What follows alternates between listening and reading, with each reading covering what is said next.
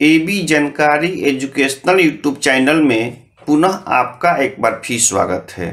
और आज इस वीडियो का टॉपिक है वह सेंटर टीईटी या स्टेट टीईटी की तैयारी से संबंधित है।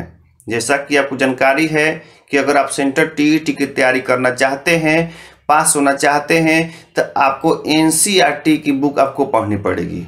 इसी को देखते हुए हमने एन सी की बुक कक्षा सिक्स का, जिसका नाम है हमारा अतीत भागवन।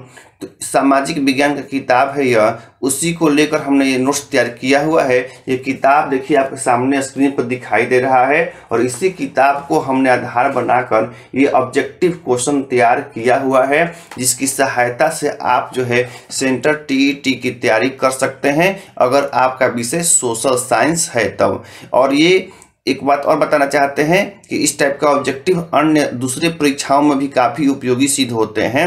तो हमको उम्मीद है कि अगर आप ध्यानपूर्वक सुनते हैं तो निश्चित रूप से आपको लाभ प्राप्त होगा।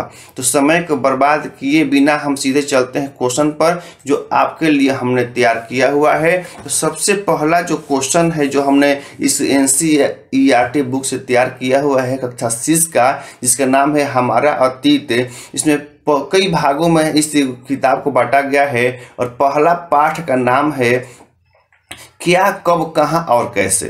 तो इसी चैप्टर से हमने इस ऑब्जेक्टिव क्वेश्चन के तैयार किया हुआ है, जो सी टी टी की तैयारी में आपको रामबाण सिद्ध होगा। तो चलते हैं सीधे क्वेश्चन की तरफ़ और पहला क्वेश्चन है कि गेहूँ और जव कब से उपजना प्रारंभ किया गया है?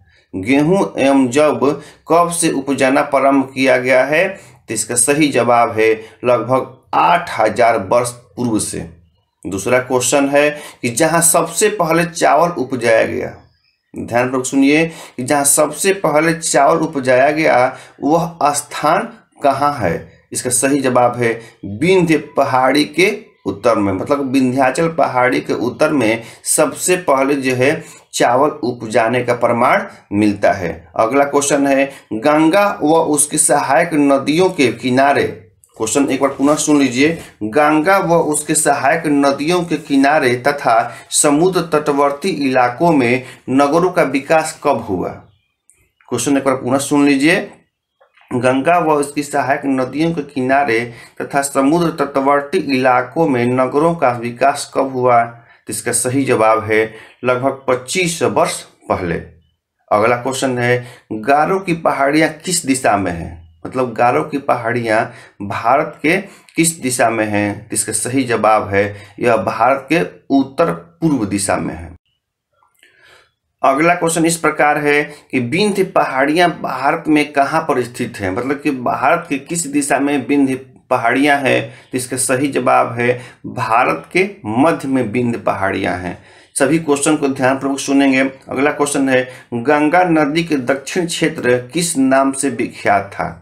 क्वेश्चन सुन लीजिए एक बार फिर कि गंगा नदी के दक्षिण क्षेत्र किस नाम से विख्यात था और इसका सही जवाब है मगध। आपको बताते चलें कि अगर आप इस प्रश्न के उत्तर देने में कुछ समय चाह रहे हैं तो आप हमारे इस यूट्यूब वीडियो के बाद आप कमेंट कर सकते हैं कि इस वीडियो में किस प्रकार का संशोधन की आवश्यकता है और आपकी आवश्यकताओं को देखकर आपको कमेंट को देखते हुए हम इसमें सुधार कर सकते हैं अगले चैप्टर में। अगला क्वेश्चन है कि इंडिया शब्द, एक बात आपको पता चले कि अब हम सीधे जो है ऑनलाइन अप्रोच की तरह आपको आंसर बताते चलें, जिससे कि कम समय में ज़्यादा से ज़्यादा आप क्वेश्चन पढ़ सकते हैं। अब इसमें हम प्रश्न और उत्तर नहीं बताएँगे, सीधे इसको उत्तर और प्रश्न सम्मिलित करके एक ही साथ में पढ़ सक पढ़ देंगे, जिसको हम लोग ऑनलाइन अप्रोच कहा जाता है। तो अगला हमारा क्वेश्चन एवं आंसर इस प्रकार है कि इंडिया शब्द इंडस से निकला है। ध्यान दीजिएगा, इंडिया शब्द इंडस से निकला है, जिसे संस्कृत में सिंधु कहा जाता है। इसमें बहुत सारे क्वेश्चन बन सकते हैं कि इंडिया शब्द किससे निकला हुआ है, या फिर इंडिया शब्द संस्कृत में क्या कहा जाता है। तो बहुत सारे क्वेश्चन बताएँगे तो समय बहुत ज़्यादा लगेगा। तो समय बचाने के लिए हम इस प्रकार का सिस्टम अपना रहे हैं कि प्रश्न उत्तर न करके सीधे हम एक लाइन में जितने क्वेश्चन आप बना सकते हैं, बना सकते हैं।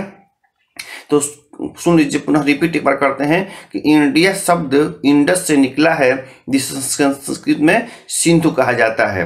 अगला क्वेश्चन इस प्रकार है कि उत्तर पश्चिम से आने वाले ईरानियों, ध्यान दीजिएगा, उत्तर पश्चिम से आने वाले ईरानियों और यूनानियों ने सिंधु को हिंदोस अथवा इंदोस कहा है। ध्यान दीजिएगा, पुनः रिपीट करते हैं कि उत्तर पश्चिम से आने वाले ईरानियों और यूनानियों ने सिंधु को हिंदूस अथवा इंदोस कहा गया है। अगला क्वेश्चन इस प्रकार है, आप ध्यानपूर्वक सुनेंगे। जो पुस्तकें हाथ से लिखी जाती है, ध्यान दीजिए, जो पुस्तकें हाथ से लिखी जाती है, उसे पांडुलिपि कहा जाता है। अगला है, पांडुलिपि को अंग्रेज़ी में क्या कहा जाता है? तो पांडुलिपि को अंग्रेज़ी में मैनोस्क्रिप्ट कहा जाता है।